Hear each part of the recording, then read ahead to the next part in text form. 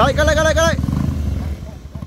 ပြည်လက်ဒေသနဲ့တိုင်းရင်းသားဒေသတွေမှာစစ်ရေးလှုပ်ရှားမှုတွေပြုလုပ်နေတဲ့တာယာဝတီခရိုင်တရင်သုံးမြန်မာဒဖန်စ်ဖို့မှာရှေ့တန်းရဲဘော်တွေရဲ့အသက်အန္တရာယ်ကိုကာကွယ်နိုင်ဖို့တန်ကွန်ချာကမ်ပိန်းတစ်ခုပြုလုပ်နေတယ်လို့သိရပါတယ်။အဲဒီကမ်ပိန်းမှာရဲဘော်တွေအတွက်ဟဲလ်မတ်နဲ့ကြီးကာတွေရရှိဖို့ရည်ရွယ်ထားပြီးမေလ၁ရက်နေ့ကနေကမ်ပိန်းရထားချက်ပြည့်တဲ့အထိရက်အကန့်အသတ်မရှိပြုလုပ်သွားမှာဖြစ်တယ်လို့ဆိုပါတယ်။ဟဲလ်မတ်နဲ့ကြီးကာတွေမွေးစင်မဲ့ရှေ့တန်းထွက်တဲ့အခါ ကြီးကွယ်မြက်ကွယ်နေရာမှာနေရာယူထားနိုင်ရင်တော့40ရာခိုင်နှုန်းပဲအန်ဒီရကင်းတာဖြစ်ပြီးဟဲလ်မတ်နဲ့ဂျီကာတွေဝတ်ဆင်ပြီးတိုက်ပွဲဝင်ရင်တော့ရဲဘော်တွေရဲ့အသက်ကို80ရာခိုင်နှုန်းကာကွယ်ပေးနိုင်တယ်လို့ MDF တပ်ဖွဲ့ဝင်အမျိုးသမီးရဲဘော်တွေကပြောပါတယ်ရဝင်းနဲ့ရှည်တန်းထွက်ရတဲ့ဆိုင်ရင် uniform equipment အစုံအလင်ဝတ်ပြီးရှည်တန်းထွက်ရတာကရဲဘော်တွေရဲ့စိတ်တကြွမှုနဲ့ယုံကြည်မှုကိုအရန်ကွာခြားစေပါတယ်။ helmet equipment တွေမပါဘဲရန်သူကိုရင်ဆိုင်ရတော့မယ်ဆိုလို့ရှိရင်ရန်သူရဲ့ကြီးကောက်ွယ်နိုင်စွမ်းက40ရာခိုင်နှုန်းလောက်ပဲရှိပါတယ်။ဒါတောင်ကြီးကွယ်မျက်ကွယ်ရှိနေလို့ကြီးကွယ်မျက်ကွယ်မရှိပဲကျွန်တော်တို့ဘက်ကနေတံပြန်ပစ်ခတ်မယ်ဆိုလို့ရှိရင်ရန်သူရဲ့ကြီးကောက်ွယ်နိုင်စွမ်းက20ရာခိုင်နှုန်းလောက်ပဲရှိပါတယ်။ရဲဘော်တယောက်ကို grade ပြည့်ဟမ်မတ်ကြီးကားတွေကိုဝစ်ဆင်ထားပြီးတော့ကြီးကွယ်မျက်ကွယ်အောက်မှာဆိုလို့ရှိရင်ရန်သူရဲ့ကြီးကောက်ွယ်နိုင်စွမ်းက80ရာခိုင်နှုန်းတိလုံခြုံမှုရှိပြီးတော့ ကျွန်တော်တို့ဘက်ကနေတံမြန်ပစ်ခတ်မယ်ဆိုလို့ရှိရင်ရန်သူရဲ့ကြီးကောက်ွယ်နိုင်စွမ်းက60ရာခိုင်နှုန်းတိလုံခြုံမှုရှိလာပါတယ်အဓိကကတော့အသက်အန္တရာယ်ကိုစိုးစိုးရွားထိခိုက်စေနိုင်တဲ့ဥကောင်းနှလုံးကြောက်ကက်အဆုပ်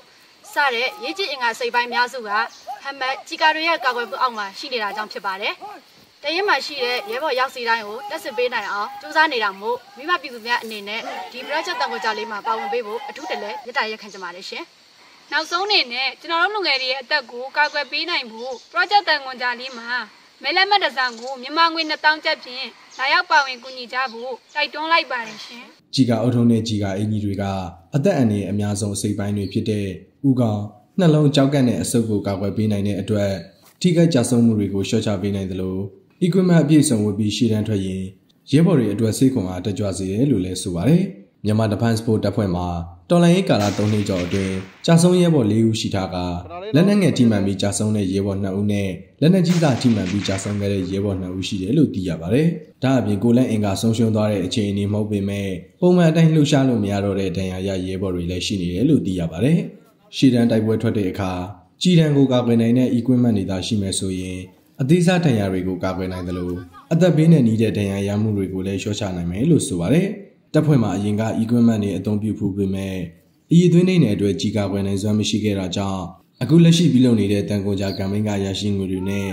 ရဲဘော်တွေအတွက်ကြီးတန်းကိုတေချာကာကွယ်နိုင်တဲ့ကြီးကာတွေတက်ဆင်ပေးသွားမှာဖြစ်တယ်လို့မြန်မာတပန်စပို့တပ်ဖွဲ့ရဲ့ဗန်နာရေးတာဝန်ခံမျိုးသမီးရဲဘော်ကပြောပါတယ်။အခုလက်ရှိကမ်ပိန်းရထားချက်ရဲ့18ရာခိုင်နှုန်းသာရောင်းချထားရပြီးလက်မှတ်တစ်စောင်ကိုမြန်မာငွေ2000နှုန်းနဲ့လက်မှတ်9000ကုန်တဲ့အထိရောင်းချသွားမှာဖြစ်တယ်လို့သိရပါတယ်။